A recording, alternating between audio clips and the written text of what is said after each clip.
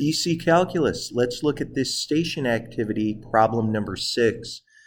Uh, remember, ultimately, your first goal should not be to try to do a u substitution for an integral. Instead, you should ask yourself if perhaps you could simplify and break down this problem uh, so that you could have x to a power. And uh, what we'll do is go ahead and uh, take this common fraction and turn it into two separate fractions. As uh, Mr. Clifford and I like to say a lot, do an I heart math. Uh, so you can see what's going to happen when you do that. Uh, this will become 2 all over x squared, but that's really 2x to the negative 2. And uh, this is minus 7x to the negative third. So, hey, at this point, you've got some choices on what you'd like to do. Um, some kids really dislike seeing that bound uh, being negative 1 on the bottom and negative 2 at the top. I do want to tell you that you can do this problem as is. You truly don't have to make a change. Uh, but I do think most kids do go ahead and they change the bounds. You want to have your smaller number down below, a bigger number up on top. And that's definitely allowed and definitely okay. Um, and we can fix this up very fast. So now we just go ahead and we take our antiderivative. And our antiderivative, we're going to bump this up a power of 1. So we'll have x to the negative 1. But then we have to divide by that negative 1. So that's going to become a negative 2. Here we're going to bump this up by a power of 1, and that's going to be x to the negative 2. But of course, then we're going to divide by negative 2. And then we're going to evaluate that between negative 1 and negative 2. Well, I'm going to do some cleaning up right now. We still have this minus out in front.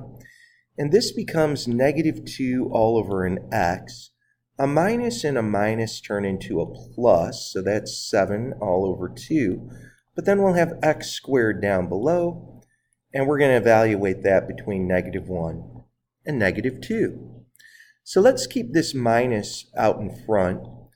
And first, go ahead and plug in negative 1. So I'm going to have negative 2 all over negative 1 plus a 7 all over 2 times negative 1 squared and that's our first component. Then we'll say minus, and now I'm going to plug in my negative 2. So we'll say negative 2 over negative 2 plus a 7 over 2 times negative 2 squared.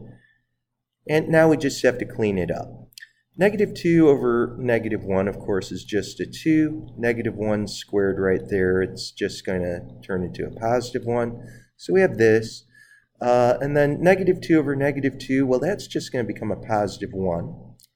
Negative 2 squared is a 4. 4 times 2 is 8. So we'd have 7 all over 8.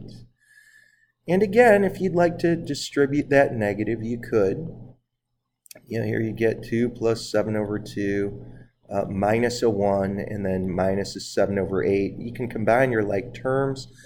Um, you know, a, a 2 and a minus 1, I think you can see very quickly would just be a 1. And wow, we're getting there. Uh, you could just get a common denominator real, real quickly. You could say this is 1 over 1. We're going to multiply by 8 over 8. Here we could multiply by 4 over 4.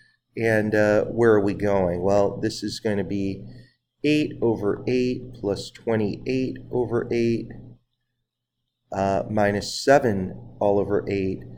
And uh, hopefully you can see this 8 and the negative 7 is a 1. 1 plus 28 is 29, so we get 29 over 8. But don't forget you've got that negative out in front. Final answer then is negative 29 over 8.